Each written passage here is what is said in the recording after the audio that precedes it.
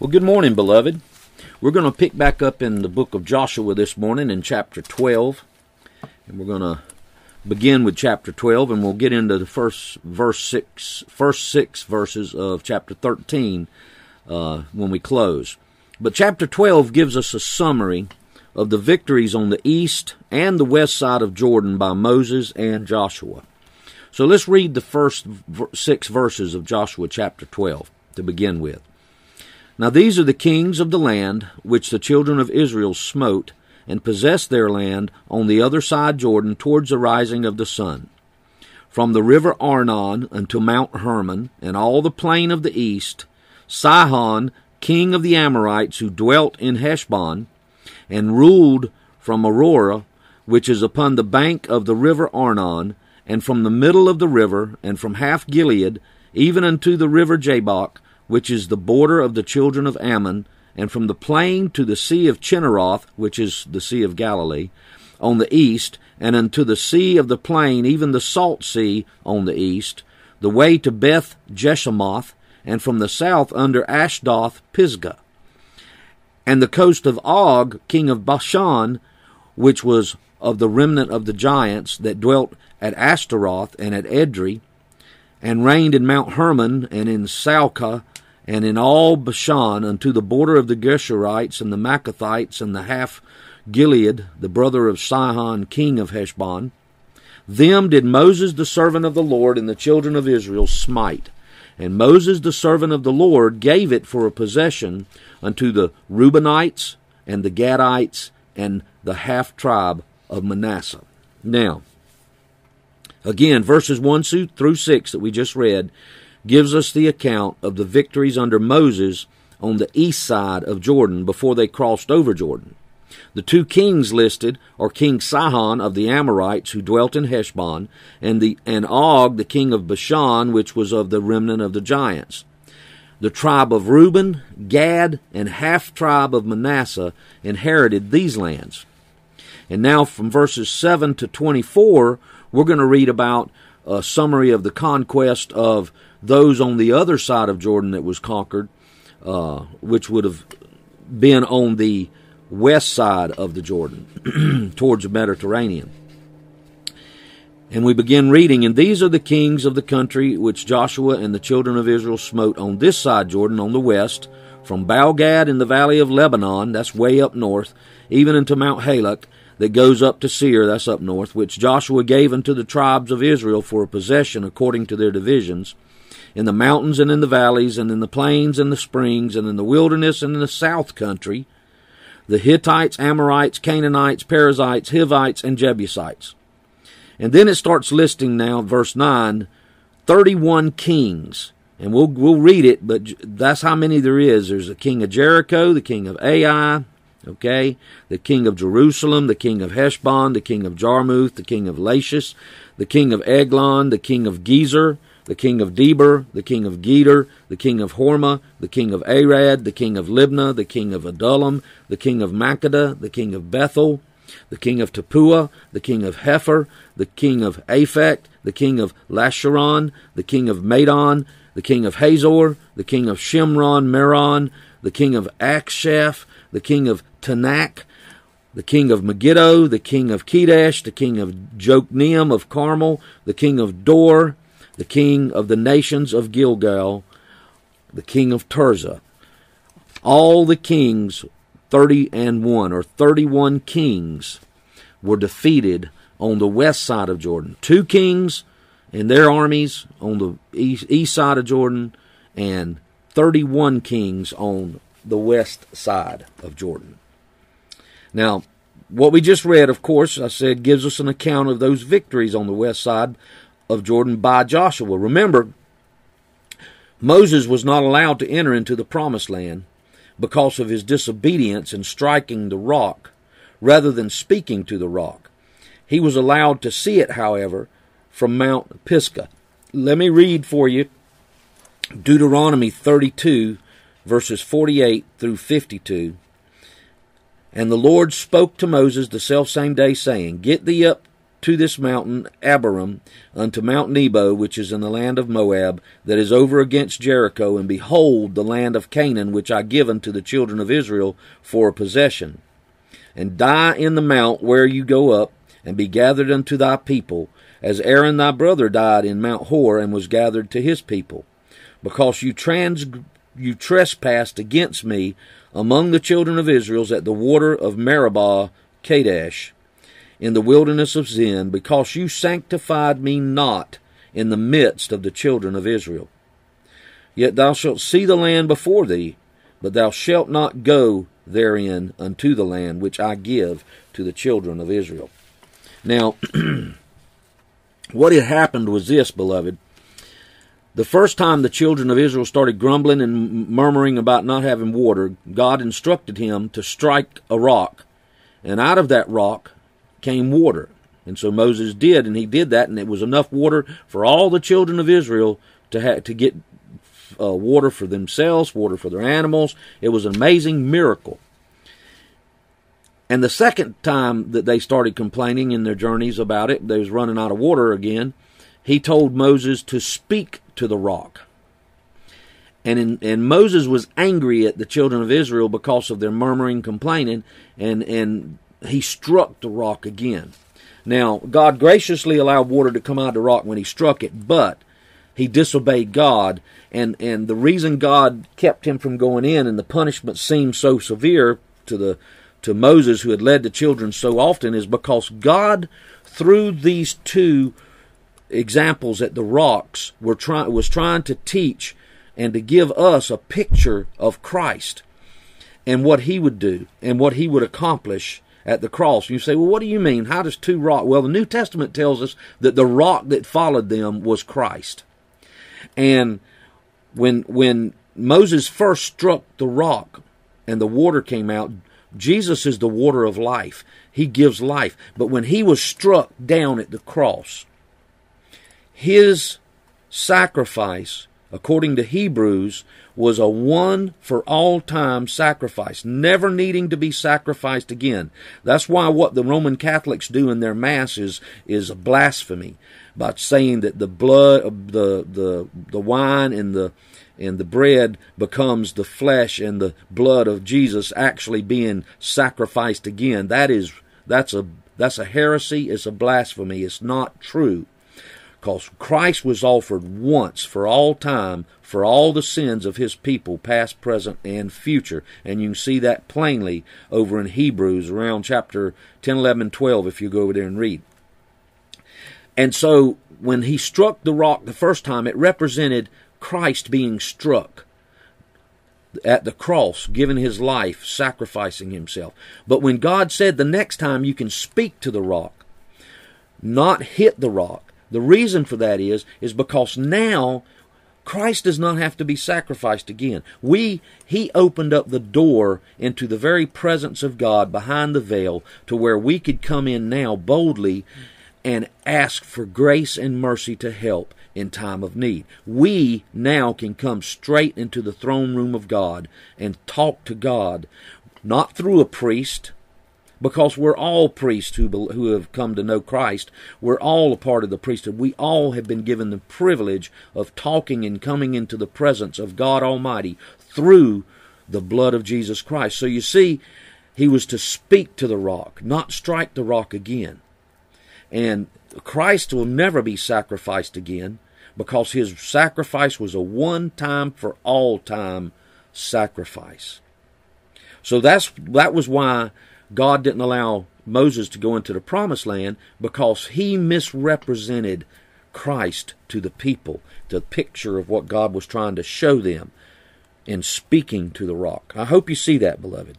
But now let's look at Deuteronomy 34 1 through 8 and it gives us a little bit more information about this. It says Moses went up from the plains of Moab unto the mountain of Nebo to the mount to the top of Pisgah that is over against Jericho, and the Lord showed him all the land of Gilead and Dan, and all Naphtali, and the land of Ephraim and Manasseh, and all the land of Judah unto the utmost sea, and the south, and the plain of the valley of Jericho, the city of palm trees, unto Zoar, And the Lord said to him, This is the land which I swore unto Abraham and to Isaac and to Jacob, saying, I will give it to thy seed. I have caused thee to see it with thine eyes, but thou shalt not go over there. So Moses the servant of the Lord died there in the land of Moab, according to the word of the Lord. And he buried him in a valley in the land of Moab, over against Beth Peor. But no man knows his, of his sepulchre unto this day. And Moses was a hundred and twenty years old when he died. His eye was not dim, nor his natural force abated. And the children of Israel wept for Moses in the plains of Moab thirty days. So the days of weeping and mourning for Moses were ended. So you see, Moses was not allowed to enter into the promised land because of his disobedience in striking the rock instead of speaking to the rock. Now, the land inherited on the east side of Jordan was much less than the land inherited on the west side of Jordan. On the east side of Jordan, two kings were defeated, and their land were taken. On the west side of Jordan, 31 kings were defeated, and their lands taken. Now, A.W. Pink looks at this typically. First, he looks at it redemptively, and secondly, he looks at it spiritually. Uh, quote from A.W. Pink He looks at it redemptively for the fruits of Christ's mediatorial work, far more of his saints have benefited therefrom since his death. And you see, here's a here's a thing: the Jordan represents death. It represents as a picture of us crossing over into our promised land. You see, because God has promised us an inheritance in heaven, a place reserved for us and uh, and so the death is kind of is there's actually used to be an old song you won't have to cross jordan alone meaning that you won't have to die alone. God will be there with you. Uh, the scripture says precious in the sight of the lord is the death of his saints. And if you remember in in uh, luke chapter 16 where when lazarus died it says the angels took him and carried him into the bosom of abraham. So so it says uh, A.W. Pink says the saints have far more benefited since the death of Christ than those who were saved by him during the days of his public ministry.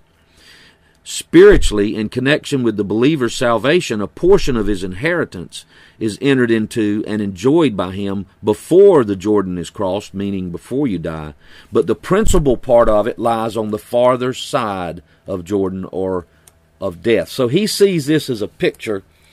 Yes, we have some inheritance on this side of Jordan, but the majority, the, the bulk of our inheritance is on the other side of Jordan. And just as there's a two part nature of the physical inheritance of the land, even so there is a two part nature of our spiritual inheritance. Now, here's some scriptures that give evidence to that. John 14 12.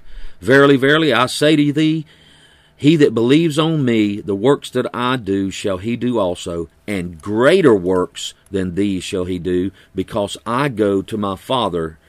And that means after he crosses over Jordan. And when he says greater works, he's not talking about more miraculous works. He's talking about greater in scope. Okay? And and if you think about it, in Jesus' short three years that he was here on the earth, there was there was many that came to him but after he left and sent the Holy Spirit back, Christianity exploded and it spread throughout the whole world. And so, in essence, those who received the Holy Spirit were able to do more because not not more miraculous, but more in the scope of the reaching people for Christ. So, why were they able to do that? Because the Holy Spirit was sent to indwell us at Pentecost. Now, 2 Corinthians 1 21 and 22. Now, he which establishes us with you in Christ and has anointed us is God, who has also sealed us. Now, that word seal means to stamp with a signet or a private mark for security and preservation.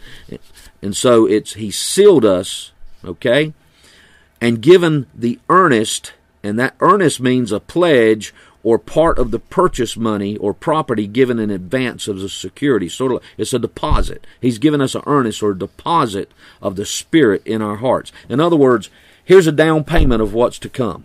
That's the Spirit of God given to us. But, beloved, there's a lot more to come when we cross Jordan. So, let me read that for you in the easy read version, that 2 Corinthians 1 21 and 22. It makes it a little easier to understand. And God is the one who makes you and us strong in Christ. God is also the one who chose us for his work. He put his mark on us to show that we are his. Yes, he put his spirit in our hearts as the first payment that guarantees all that he will give us. Now that, that sounds a lot easier to understand than the old King James English. John 14, 2 and 3. Jesus said, In my Father's house are many mansions. If it were not so, I would have told you. I go to prepare a place for you. And if I go and prepare a place for you, I will come again and receive you unto myself, that where I am, there you may be also. See, beloved, we're still on this side of Jordan. And, and we haven't crossed over Jordan to the place that's prepared for us yet.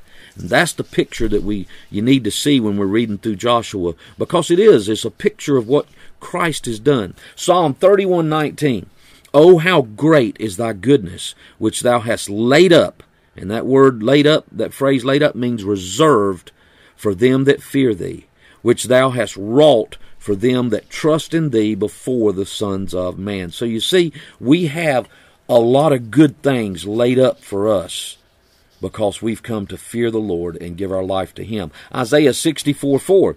For since the beginning of the world, men have not heard, nor perceived by the ear, neither have they seen by the eye of God beside the uh, seen of O God beside thee, besides God, what He has prepared for him that waits for Him. Beloved, the other side of Jordan awaits us. And it, it's going to be beyond what we can imagine, beyond our wildest dreams. 2 Timothy 4 8. Henceforth, or from here on out, Paul said, and this Paul's this is Paul uh, speaking after he's just said that uh, the time of my departure is at hand. He knew that he was getting ready to be beheaded by a Roman soldier. In writing to Timothy in 2 Timothy 4 8, he says, Henceforth, or hereafter, there is laid up, there it is again, the word reserved for me, a crown of righteousness which the Lord, the righteous judge, shall give me at that day. And not to me only, but unto all them also that love his appearing. Beloved, do you love his appearing? If you do, if you're looking forward to and longing for him to return, there's a crown of righteousness waiting on you. So, as I hope we can clearly see from these few passages, and there, there's more, but these are just a few of them, there is much more to our inheritance waiting for us on the other side of Jordan. As we looked at some of these things last week in more detail. Well, let's look at verse. I want you to pay attention to verse 7 and then verse 24. In verse 7, we read, And these are the kings of the country which Joshua and the children of Israel smote on this side Jordan on the west. And then he says, verse 24, All the kings, 30 and 1. Now, A.W. Pink brings out something interesting. He says, It may be thought strange that there should have been so many kings in such a small country. In reality, it supplies evidence of the accuracy and veracity of this historical record, for it is in perfect accord with the ancient practice followed in various countries, namely, that many of their principal cities had their own separate kings. Historians inform us that when Julius Caesar landed in Britain, he found four kings in a single county of Kent. Joshua's conquest of all those kings illustrate the truth that the more entirely our hearts are fixed upon the Lord our strength, the more certainly will our foes, however powerful or numerous, be subdued before us. And then Pink brings out one other thing that's kind of interesting, and you can take this or leave it. But he says, according to Gematria, and I had to look that up to see what it is. Gematria is the ancient practice of using letters instead of figures, for our modern numbers were unknown to the ancients, so they used letters and assigned them numerical values. He says the use. Uh, he says gematria in gematria 31 equals el, or in other words, the the two letters E and L, when the value of those values are added together, it equals 31. Okay, and so El is the name of God, and he just that's just kind of interesting. And he closes his quote by, "If then he be for us, who can be against us?" Well, that finishes chapter 12, and I hope you've seen some things in chapter 12 that gives you something to think about and maybe even to go back and look up and pray about. But now let's jump over into chapter 13. The first six verses of chapter 16, uh, if refer to your map to see some of the locations of the people that still needed to be driven out of the land. Uh, and I'm going to read verses 1 through 6. Now Joshua was, was old and stricken in years, and the Lord said to him, Thou art old and stricken in years, and there remains yet very much land to be possessed. This is the land that yet remains. All the borders of the Philistines. And you see on your map it says Philistia, that's the area. And all Geshuri, from Sihor, which is before Egypt, even unto the borders of Ekron northward, which is counted to the Canaanite. Five lords of the Philistines, the Gazathites, the Ashdothites, the Escalonites, the Gittites, and the Ekronites, and the, also the Avites. Now, if you remember, if you, uh, just as a side note, that's the Philistines was the ones that uh, that uh, David went against and conquered. And then later on, when the ju- time of the judges, uh, when when they went away from following uh, God and God put them under bondage, then they cried out to God. And Samson, the the judge, Samson was the one that went against the Philistines to deliver them from the Philistines. Okay, so they were always a thorn in the flesh, the Philistines. But he says, um, from the south, all the land of the Canaanites, and to Merari that is beside the Sidonians, which is way up in the north, and to Aphek, to the borders of the Amorites, and the land of the Giblites, and all Lebanon, that's way up in the north, towards the sun rising, from Baalgad under Mount Hermon, that's way up in the north, until the entering into Hamath, all the inhabitants of the hill country from Lebanon and to Mesriph, Mesriphoth Maim, and all the Sidonians, will I, them will I drive out from before the children of Israel. Only divide thou it by lot unto the children, unto the Israelites for an inheritance, as I have commanded thee. Now, chapter 13 is a chapter that doesn't really lend itself to a lot of comments. It consists largely of uh, geographical details, of which I'm certain you probably have very little interest in. Uh, these six verses describe the people and lands that still need to be conquered and driven out. The next six verses the Lord begins giving instructions for the dividing of the land to the different tribes. But before we look at the next six verses, I want you to take notice of two statements from the Lord to Joshua. First, there remains yet very much land to be possessed. And then, them will I drive out from before the children of Israel. Now, the land of Canaan was promised to Abraham, Isaac, and Jacob and their descendants. It was a free grant from God. Yet it had to be conquered by them. Don't miss this, beloved. This is an important truth we're going to be looking at. There are two great truths that at first glance seem to contradict each other. He tells them, There's very much land you still have to possess. But then he says, I'll drive them out before you. Israel, he says, you must possess the land. You must fight.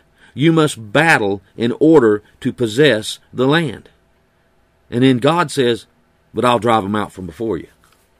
Now, our salvation and our inheritance were obtained by Christ Jesus our Lord. Yet it is not entered into by the heirs of promise without much effort on their part. 1 Corinthians 4 7. For who makes you to differ from another? And what hast thou that you did not receive. Now, if you did receive it, why do you glory as if you had not received it? You know, beloved, that goes right along with the truth that some people brag about their faith. Well, I believed in God. Well, you didn't believe in God until He granted you faith. Ephesians 2 8 and 9 For by grace are you saved through faith, and that not of yourselves, it is a gift of God. And some people brag on their repentance. Oh, well, I turned away and I repented of all that. Well, you didn't repent until God granted you repentance. Because 2 Timothy 2 24 through 26 says that if God peradventure will grant them repentance to the acknowledging of the truth. So you see, we received our salvation. It was a gift from God. Now, but this doesn't mean that the regenerated soul, the born again person, is to remain a passive agent. For we read in Luke 13:24, listen to it, strive to enter in at the straight gate. In Hebrews 4:11, let us labor therefore to enter into that rest lest any man fall after the same example of unbelief. Philippians 2:12 Wherefore my beloved brethren have you as always as, as you have always obeyed not as in my presence only but now much more in my absence work out your own salvation with fear and trembling. We see three words strive, labor, work out.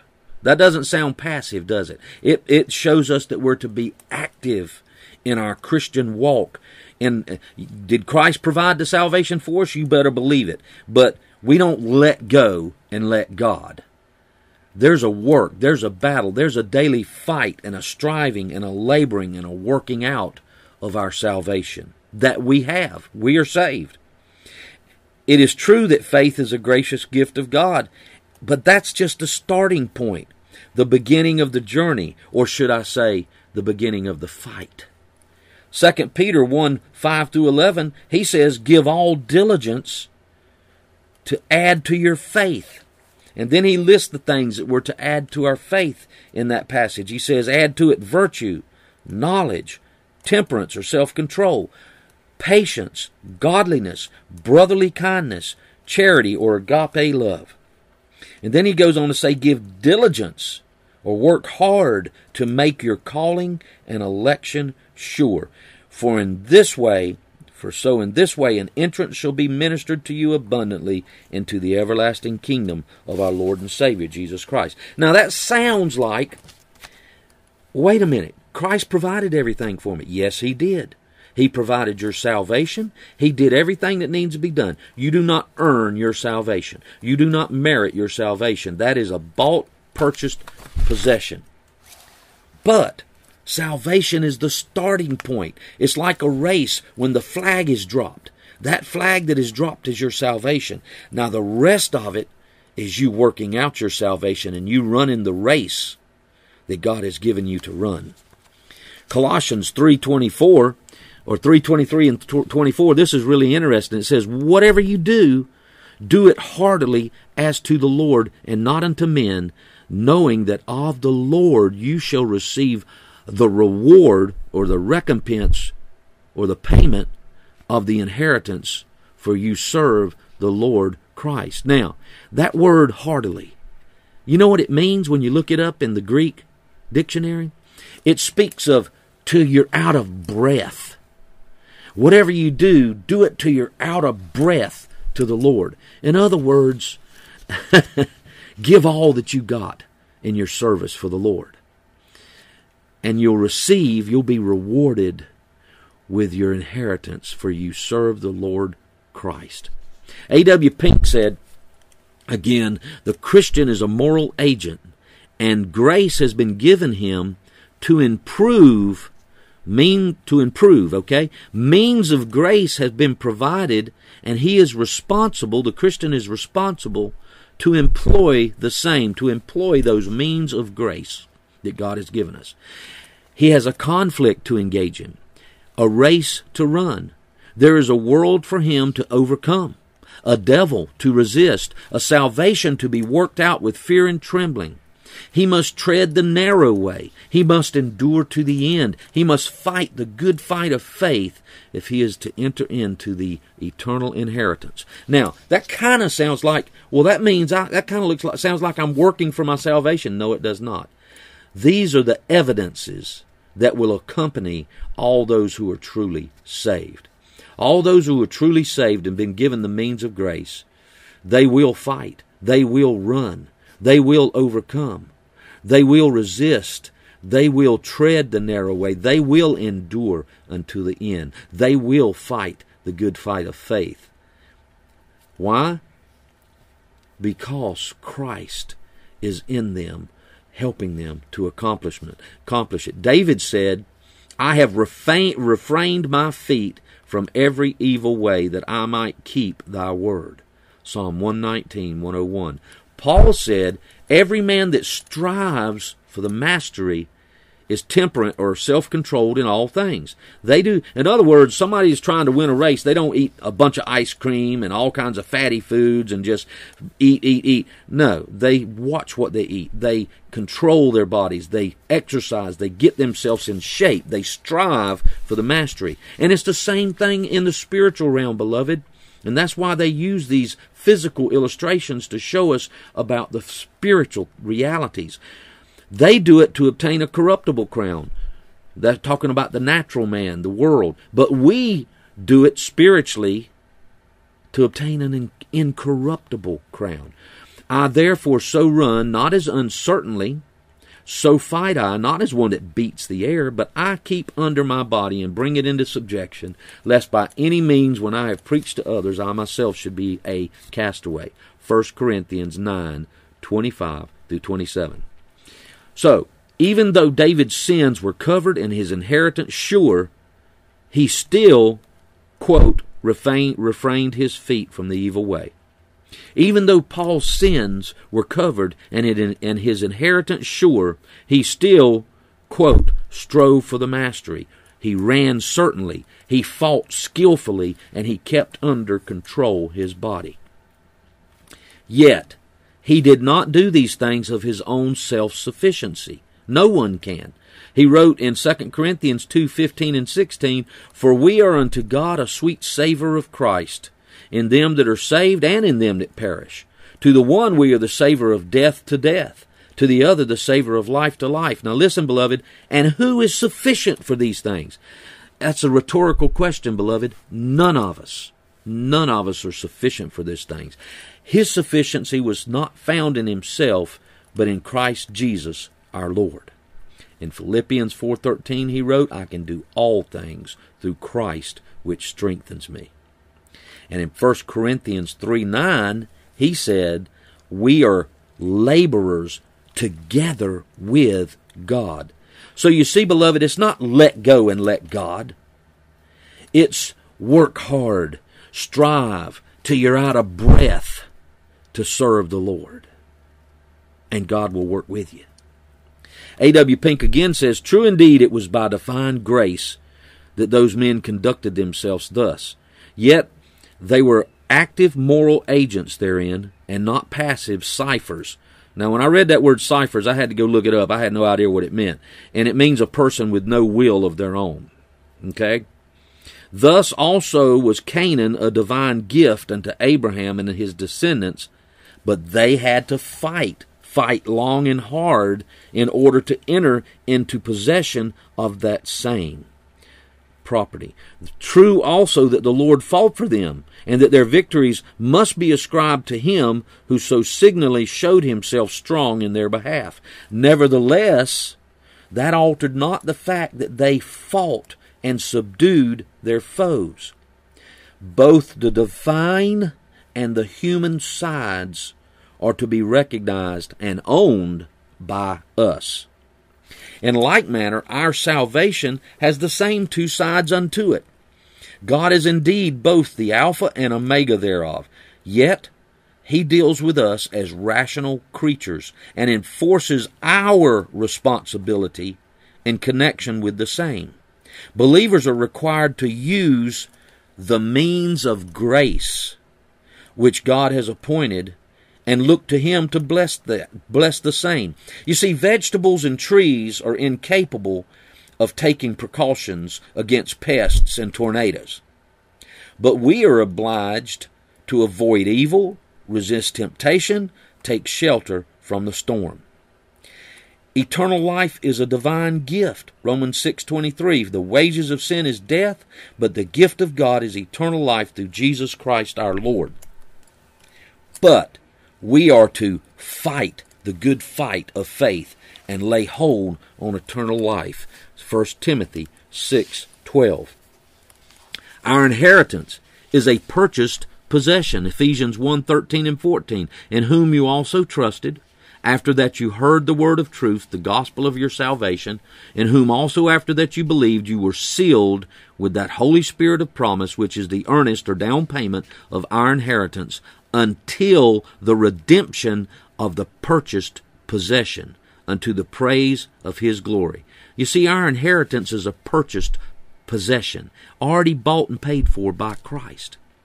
Yet it is also a reward for service to the Lord. In Colossians 3:23, whatever you do, do it heartily until you're out of breath, as to the Lord and not to men, knowing that the Lord of the Lord you shall receive the reward and that of the inheritance.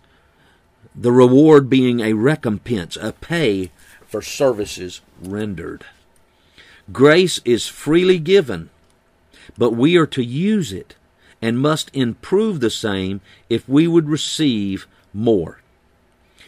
Luke 8:18 Take heed therefore how you hear for whoever has to him shall be given.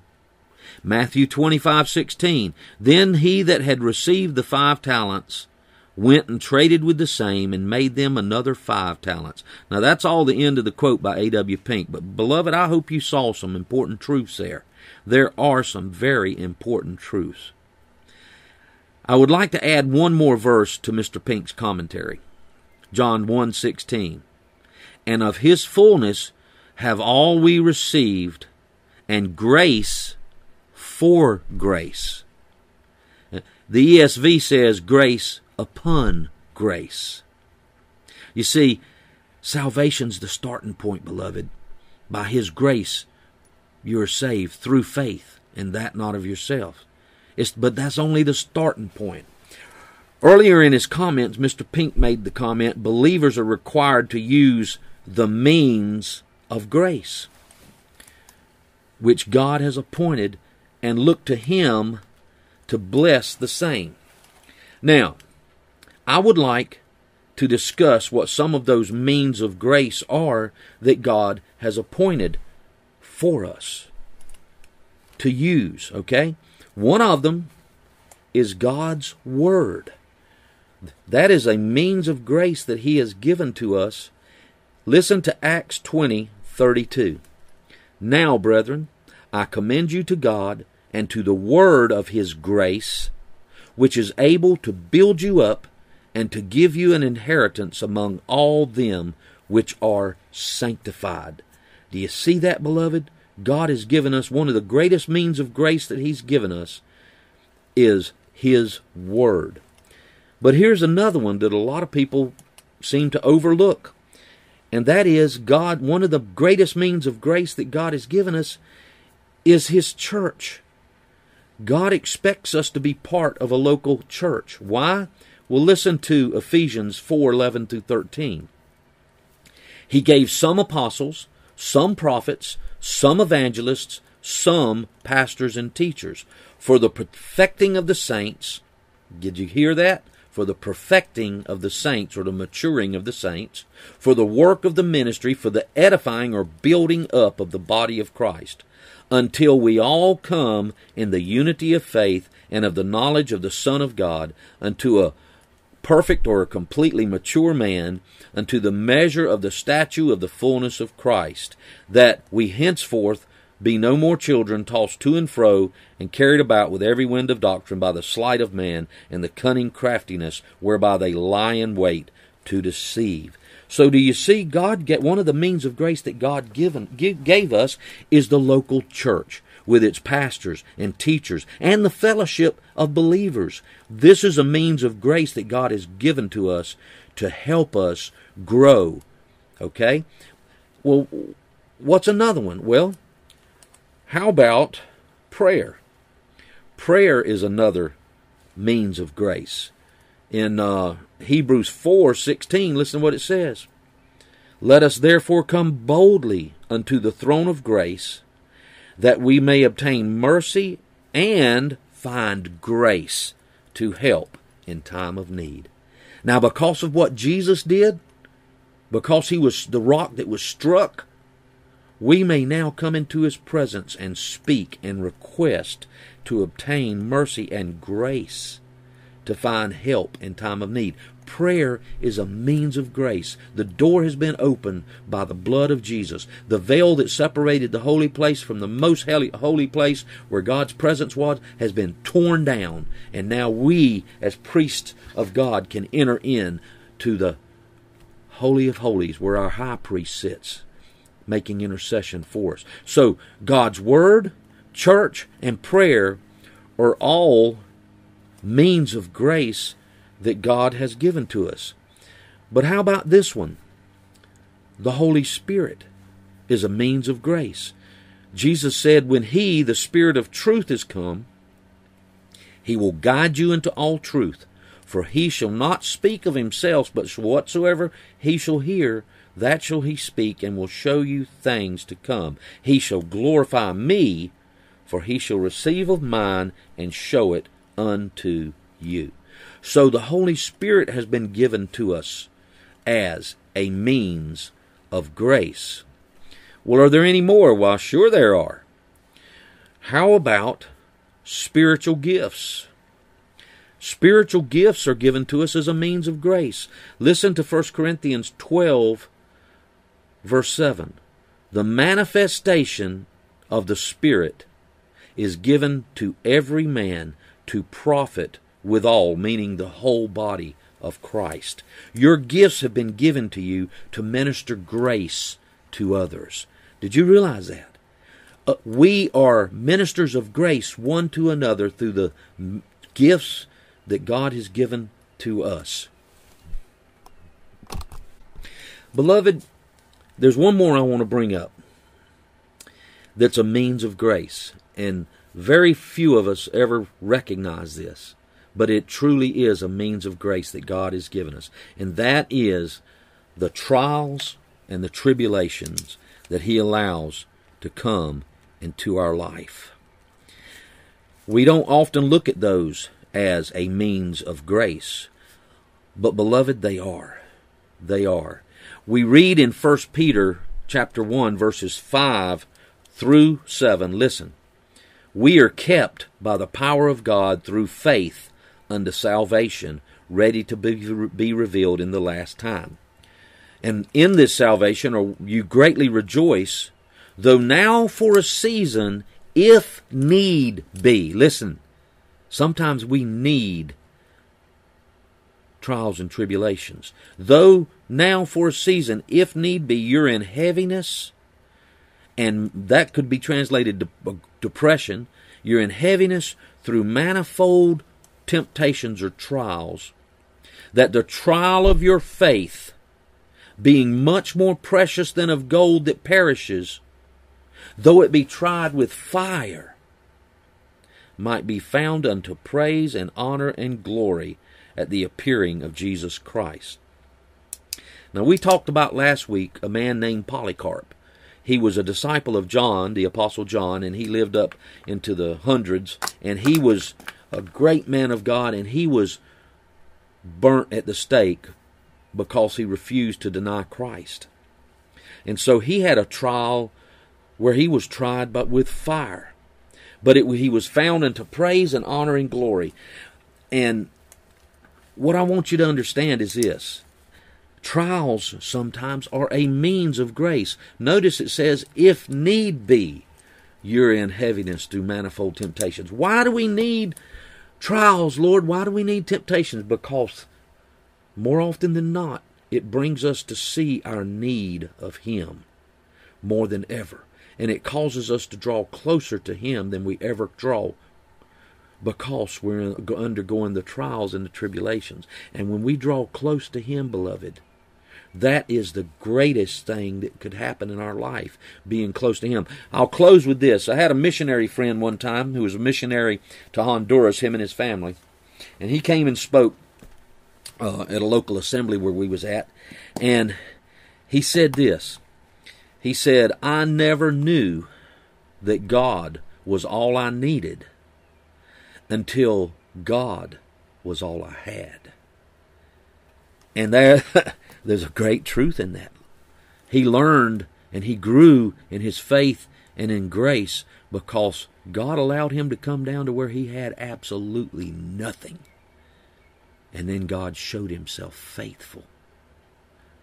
Beloved, there's some amazing truths in this. So remember these truths, I pray. And I pray that you bless this week and that you'll serve the Lord till you're out of breath. Amen. Amen.